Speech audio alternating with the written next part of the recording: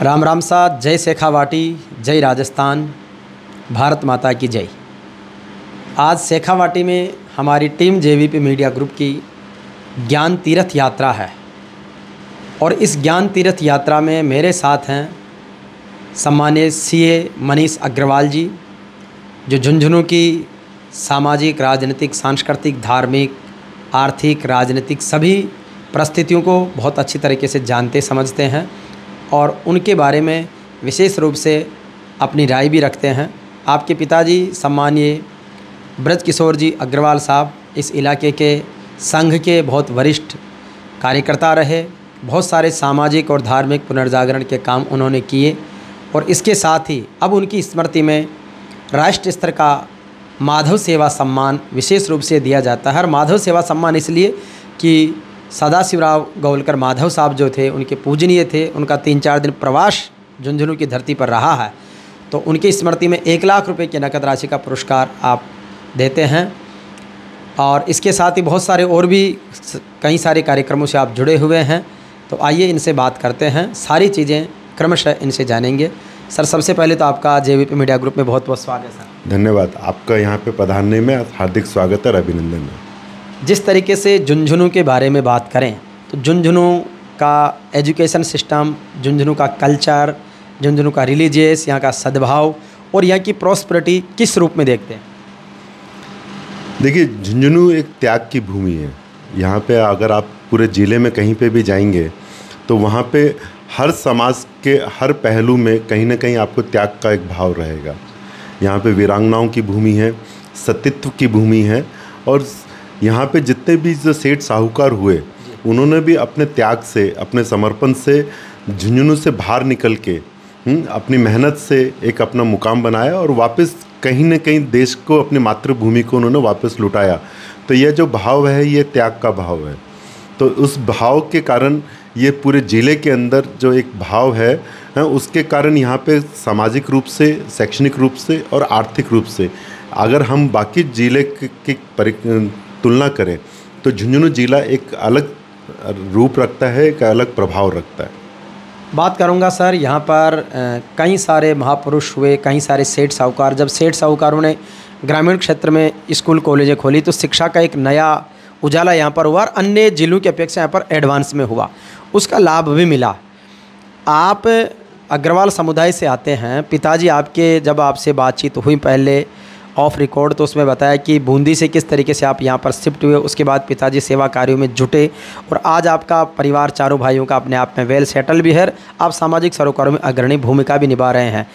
तो शेखावाटी के इस अंचल में आपके पिताजी ब्रजकिशोर अग्रवाल जी का आगमन और उनके सेवा कार्यों को किस रूप में देखते हैं? देखिए, मेरे पिताजी की पृष्ठभूमि जब बचपन में थे तो बहुत ही गरीब पृष्ठभूमि से उन्होंने अपने आप को ऊपर किया, और उन्होंने जब संघ के संपर्क में आए तो उन्होंने ये चीज़ सीखी कि शिक्षा से ही मानव कल्याण हो सकता है। और उनको जब शिक्षा में जो सहयोग उस समय मिला तो उन्होंने अपने जीवन में सोचा कि मेरे को जब शिक्षा से मेरे को मनोबल मिला मेरे को बल मिला और उसके कारण आज मैं जिस लेवल पे पहुँचा हूँ तो अगर मेरे को मानव कल्याण करना है तो मेरे को शिक्षा के अंदर ही लोगों को भाव देना है और उसी से समाज का उत्थान हो सकता है। तो इसलिए जब वो संघ के आदेश के अनुसार जब 65 में झुंझुनू में आए तो उन्होंने जो समाज कल्याण के कार्य किए तो यहाँ पे उन्होंने सबसे बड़ा जो प्रभाव रखा या सबसे ज़्यादा जो कार्य किया, वो शिक्षा के क्षेत्र में ही किया। और शिक्षा के अंदर जो यहाँ से झुंझुनू से जो पुराने टाइम पे जो महाजन समाज के लोग जब व्यापार करने के लिए कलकत्ता बम्बई या नॉर्थ ईस्ट में गए तो वहाँ पे उन्होंने ये देखा कि शिक्षा से ही आगे बढ़ा जा सकता है। तो उस टाइम पे जब 18 सेंचुरी नाइनटीन सेंचुरी में जब वो व्यापार करने गए, अंग्रेज़ों के प्रभाव में आए तो उन्होंने भी यही सोचा कि हम अपने एरिया में जाके शिक्षा के प्रभाव को बढ़ाएँगे। तभी यहाँ पे अट्ठारह के अंदर राजपूताना शिक्षा मंडल करके एक ट्रस्ट बना और उसके अंदर उन्होंने गांव-गांव के अंदर स्कूलें बनाई। तो जब आज़ादी का जब समय आया तो आज़ादी के समय यहाँ पे दो सौ छप्पन स्कूलें हुआ करती थी और तीन महाविद्यालय होते थे। तो एक झुंझुनू जैसी जगह के अंदर तीन महाविद्यालय और दो सौ छप्पन स्कूल होना, यह इसी बात का परिचायक है कि हमारे जो सेठ साहूकार जिन्होंने कलकत्ता में रह के कहीं पे भी स्किल डेवलपमेंट का जो आज की सरकार की सोच आ रही है कि हमें स्किल डेवलपमेंट होनी चाहिए तो वो उन्होंने उस उस समय सोचा था कि 19वीं सदी में कि हमारे आम लोगों का स्किल डेवलपमेंट होना चाहिए, इसीलिए यहाँ पे उन्होंने शिक्षण संस्थाएँ खोले और उसके कारण ये प्रभाव है कि आज के तारीख में राजस्थान का सबसे शिक्षित ज़िले के रूप में झुंझुनू को जाना जाता है और यहाँ के लोग अपने इस शिक्षा के बल पर प्रशासनिक सेवा में, सैनिक सेवा में या अंतर्राष्ट्रीय स्तर पे भी घासी राम जी जैसे व्यक्ति जिन्होंने इन्हीं राजपुताना शिक्षा मंडल की स्कूल से शिक्षा प्राप्त करके अमेरिका के अंदर गणितज्ञ के रूप में अपनी सेवाएँ दी और झुंझुनू के अंदर एक जाट समाज से निकल कर व्यक्ति अमेरिका के अंदर प्रोफेसर बना तो उसी शिक्षा का ये एक पिताजी ने जिस तरीके से शिक्षा की लो जगाई, सेठों को भी यहाँ पर उन्होंने सलाह दी कि एजुकेशन के लिए इन्वेस्टमेंट किया जाए। आज उसका प्रभाव भी अपन सब देख रहे हैं। तो पिताजी की जो सोच थी, उस सोच को जिस तरीके से उन्होंने आगे बढ़ाया और जब अब वो दुनिया से चले गए हैं तो उन स्मृतियों को किस तरीके से आप उनके सपनों को आगे बढ़ा रहे हैं? देखिए, उन्होंने जो प्रकल्प यहाँ पे खड़े किए और जिन प्रकल्पों के अंदर उन्होंने शिक्षा का कार्य करने की कोशिश की तो मेरा तो धर्म यही बनता है कि मैं उन उन संस्थाओं को, उन जितने भी शैक्षणिक संस्था हैं या यहाँ पे शैक्षणिक रूप से और कोई भी व्यक्ति जब किसी भी प्रकार का प्रकल्प खड़ा करता है तो मैं उसमें सहयोगी कैसे बन सकूँ? और उसी रूप में मैं उन संस्थाओं के अंदर मेरा जहाँ पे भी जितना भी सामर्थ्य होता है उतना देने की कोशिश करते हैं। और उसी अनुरूप वहाँ पे जहाँ पे भी नैतिक रूप से मतलब किसी रूप में भी उनको किसी भी लेवल का को, कोई सपोर्ट चाहिए होता है वो हम लोग प्रदान करते हैं। पिताजी की स्मृति में आप राष्ट्रीय पुरस्कारों का आयोजन भी करते हैं। उनकी क्या रूपरेखा होती है?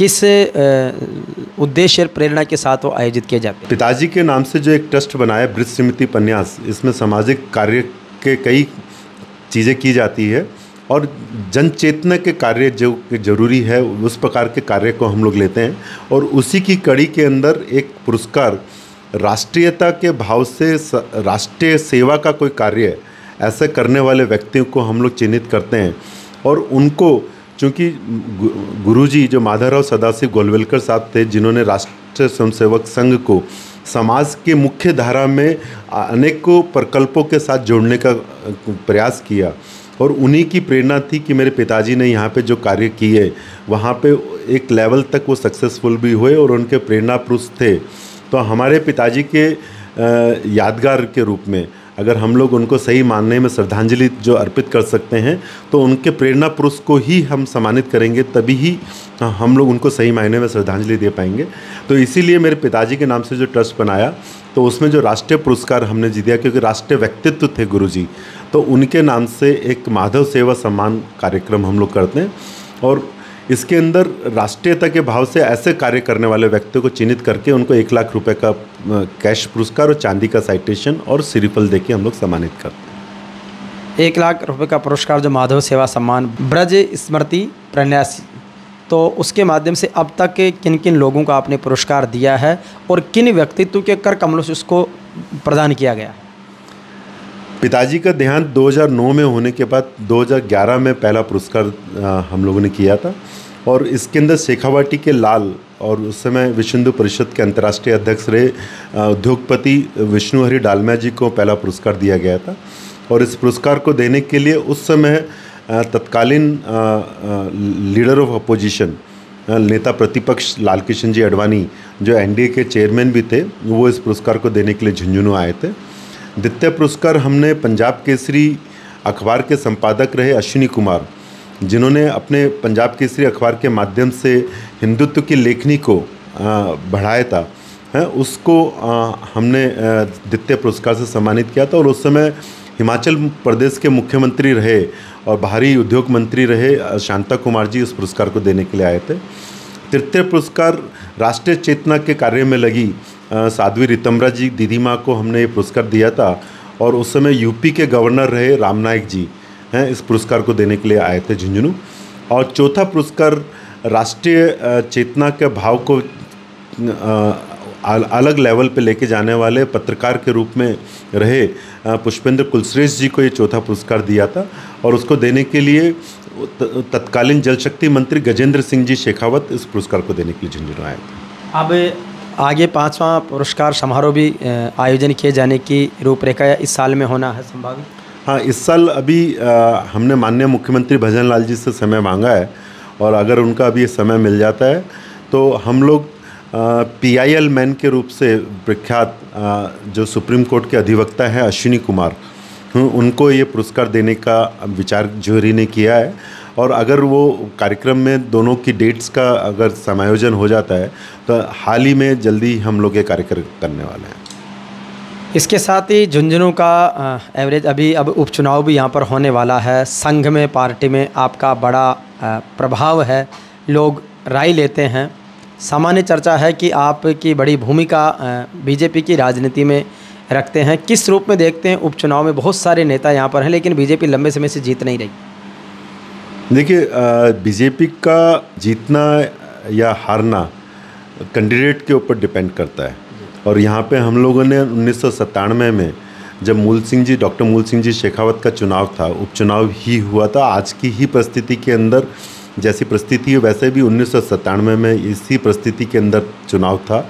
और उस समय तत्कालीन मुख्यमंत्री भैरव सिंह जी शेखावत ने एक चैलेंज को लेते हुए यहाँ पे चुनाव को रखा था। और उस चुनाव के अंदर विजेता भी हासिल हुए थे। तो ऐसा नहीं है कि हम लोग अगर सही परिस्थिति, सही चीज़ों को सही सामंजस्य के साथ कार्य करेंगे तो आने वाले चुनाव में भी हमें जीत हासिल होगी।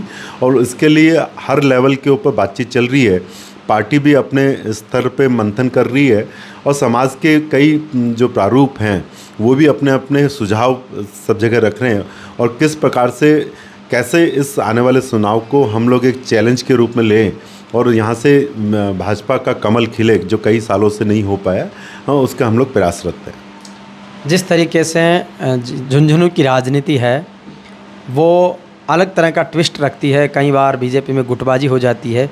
लेकिन क्या इस बार बीजेपी या संघ या आपके दृष्टिकोण में कोई शहर के संजीदा या इस बार एक तरह से नेतागिरी सेटकर कोई एक सामान्य आदमी, जिसमें चाहे व्यापारी हो सोशल वर्कर हो कोई धार्मिक सामाजिक संस्थाओं से जुड़े हुए लोग हों उनको आगे लाने पर ऐसा कुछ विचार है?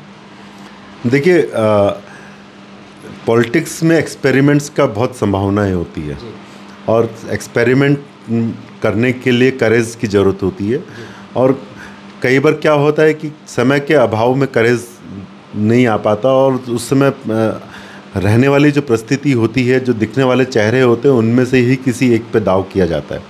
बट मेरा राजनीतिक रूप से नहीं, मेरा पर्सनल रूप से मानना है कि ऐसे जो व्यक्तियों को हम लोगों को आगे समाज में लेके आना चाहिए, जो एक सामाजिक समझ रखते हो, जो समाज में आगे आने वाले ब्लूप्रिंट को रख सके कि हमें झुंझुनू ज़िले के लिए क्या करना है या झुंझुनू शहर के लिए क्या करना है। आज झुंझुनू एक उस मुकाम पे खड़ा है कि जब उसको एक लॉन्चर चाहिए, जब जिस बेसिस पे वो एक डेवलप सिटी के रूप में डेवलप कर सके। हमारी निकटता जिस रूप से दिल्ली से है और जयपुर से निकटता है हम क्यों ना एनसीआर के लेवल का डेवलपमेंट झुंझुनू में ला सके। और इस विचार के साथ में ऐसा कोई विजनरी नेता या सामाजिक कार्यकर्ता या उद्योगपति या कोई भी या धार्मिक नेता भी करके कोई इस प्रकार का भाव लेके आता है तो मेरा मानना है कि कहीं ना कहीं झुंझुनू की जनता जो प्रोग्रेसिव रूप में शिक्षित जनता है हम्म, उस भाव को आगे लेगी। और आगे जाके नया एक आयाम पैदा कर सकते हैं।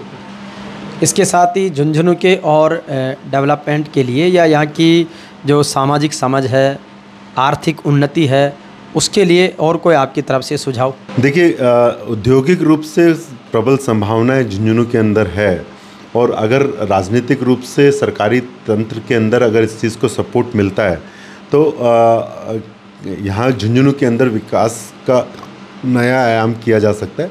जैसे भी हाल ही के अंदर 10 सालों के जो गवर्नमेंट की साइलेंट पॉलिसीज़ के अंदर अगर आप देखेंगे तो झुंझुनू के अंदर सबसे बड़ा ग्रिड पावर स्टेशन जसरापुर के अंदर डेवलप हुआ है। और जो सीएनजी लाइन का जो है, उसका भी एक जंक्शन जो है झुंझुनू के पास में ही एक गाँव के अंदर डेवलप हुआ है। तो जब सीएनजी आपके पास पाइप रूप से पहुँच रही है तो उद्योगों को एनर्जी जो मेन इंपॉर्टेंट आस्पेक्ट होता है वो आपके डोर स्टेप पे है। और उस मुकाम से अगर कोई सोचा जाए तो यहाँ पे छोटे छोटे एंसिलरी इंडस्ट्रीज़ की बहुत संभावनाएँ हैं। और मेरा लगता है कि कहीं ना कहीं सरकार इस रूप में सोच रही है और आने वाले समय में इस, इसके ऊपर बहुत काम करेगी। आप रानी सती मंदिर के व्यवस्थापन समिति से विशेष रूप से जुड़े हुए, बहुत सारे और भी सामाजिक संस्थाओं से जुड़े हुए हैं। किस तरीके का मैनेजमेंट रहता रानी सती का, किस तरीके का वहाँ का जो गौरवशाली इतिहास है, वर्तमान की व्यवस्थाएँ हैं, उसके बारे में। देखिए, धार्मिक रूप से झुंझुनू जो है सतीत्व से जुड़ी हुई है और सतीत्व के कई प्रकल्प यहाँ पे रानी सती खेमी सती चाव सती चिड़ीमोली सती सिक्सेरिया सती ऐसे कई बड़े बड़े मंदिर हैं। और इन मंदिर के जो लोग जो जुड़े हैं वो कहीं ना कहीं पूरे भारतवर्ष में या विश्व में अ, अ, अपने इन मंदिरों को कुल देवी के रूप में पूजते हैं। और उनका आना जाना झुंझुनू इस मंदिर के अंदर पारिवारिक रूप से होता है। तो अगर प्रशासन उन लोगों को फैसिलिटेट करे तो जिस प्रकार से अ, उज्जैन के अंदर या वाराणसी में या और भी जो सब जगह कॉरिडोर्स पैदा हुए हैं या कॉरिडोर्स डेवलप हुए हैं तो प्रशासनिक रूप से अगर इंफ्रास्ट्रक्चर या उन लोगों को एक थोड़ा सा सपोर्ट किया जाए तो ये मंदिर जो है इकोनॉमिक सेंटर्स के रूप में डेवलप हो सकते हैं। और समावेशी विकास के लिए मंदिर के अंदर फोकस होना बहुत ज़रूरी है और उससे समाज के और हर धर्म के लोगों को फ़ायदा मिलता है। जैसा मैं बता सकूँ कि हमारे रानी सती स्कूल के अंदर हिंदू के अलावा बाकी धर्मों की भी बच्चियाँ वहाँ पे फ्री ऑफ़ कॉस्ट पढ़ रही है। वहाँ पे कई ऐसे जो काम हैं, वो हर धर्म के लोगों को मिल रहे हैं। तो वहाँ पे किसी भी प्रकार का, उस प्रकार का भेदभाव नहीं है। तो इसका मतलब होता है कि कहीं पे भी जो एक बड़ा विकास होता है, बड़ा प्रकल्प होता है, उससे समाज के हर पहलू के अंदर लोगों को फ़ायदा मिलता है। और उसका जितना विकास होगा तो उतना ही झुंझुनू के विकास से उसका समावेश होगा।